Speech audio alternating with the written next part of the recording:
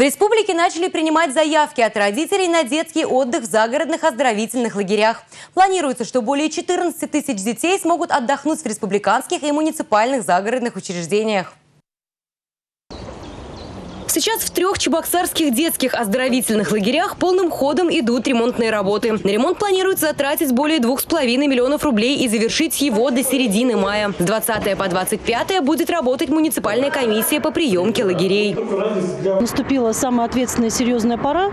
Наши муниципальные лагеря – это «Березка», «Бригантина» и «Волна» полным ходом готовятся к приему детей с 1 июня. В лагерях проводятся ремонтные работы. Это и ремонт кровли, ремонт пищеблока, ремонт обеденных залов. Конечно, косметический ремонт комнат, в которых ребята будут проживать. Кстати, по итогам прошлого года лагерь «Бригантина» стал лучшим в республике, а «Волна» и «Березка» вошли в национальный реестр ведущих образовательных организаций России.